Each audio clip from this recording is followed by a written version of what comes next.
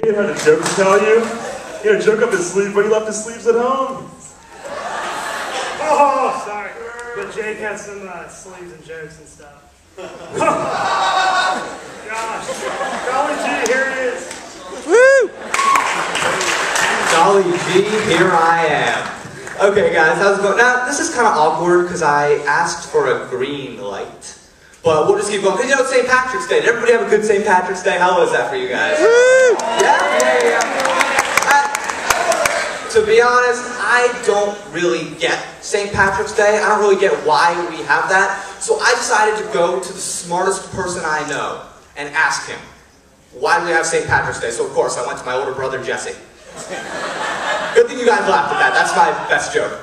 Um, anyway, so I go up to Jesse, and Jesse said, Well, Jake, if you came to my college and you asked that, everybody would say, We get to drink! But come on, guys, that's, that's, that's just dumb. I mean, let me make a public service announcement right now. Don't drink, don't do drugs. Because, well, let me, let me just show you guys. When you're messed up, the Pringles and Comet look very similar to each other. Bad things can happen, people. Bad things.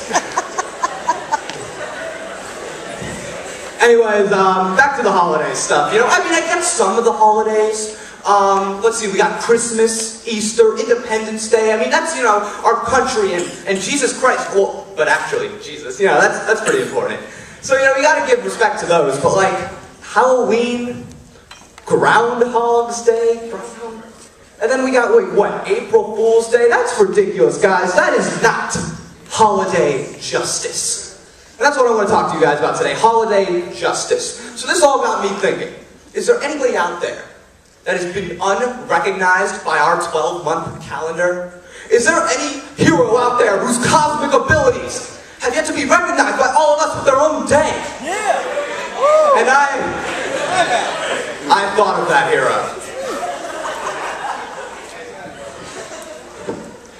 That hero is John Crapper. Yes, John Crapper. Everybody, you're out there saying, who? Who's John Crapper? I'll tell you.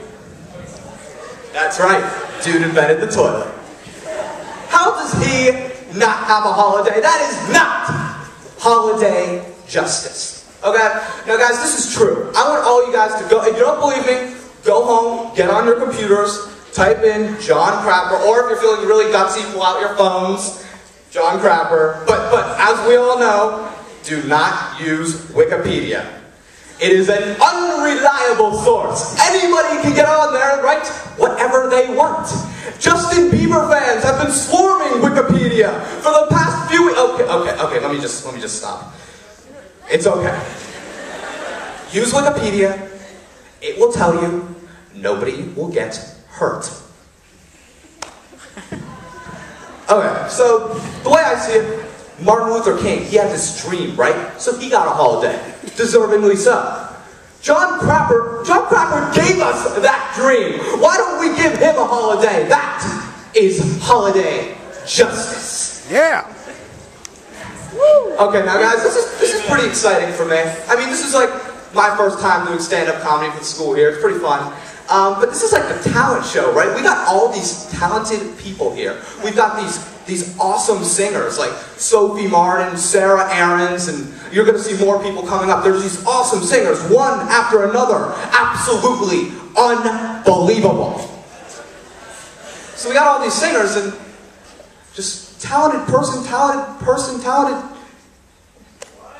Uh, so it's kind of it's kind of interesting the way this happened. You know, everybody was auditioning. I was in the room, and well, I got up there with a completely straight face and, baby, baby, baby, oh. Um, and to be honest, I thought that was pretty good. So I come out of the audition, I'm feeling pretty good, and Emily Rapport, she's been like coordinating this whole talent show thing. She comes up to me and she's like, Jake, you're a really great comedian. And, well, you know, she gave me that, that sensitive arm touch thing. And you know, you know how guys like that. So she said, Jake, you're such a great comedian. I said, well, anything for you, baby. You know what I'm saying? So um, when I said this was my first time, I really meant it. and uh, that's my time, guys. Thank you very much.